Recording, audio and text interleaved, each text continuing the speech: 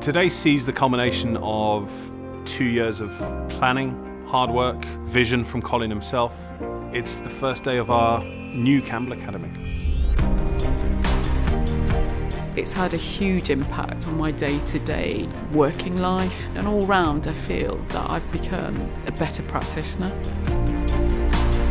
I think the style of teaching is fantastic. It makes it easy and provide systems and processes for your own practice that you can take away with you. Such a great space for delegates to come and learn, for delegates to bring their patients, but also for Colin and his team to provide wonderful dentistry in what is an outstanding facility.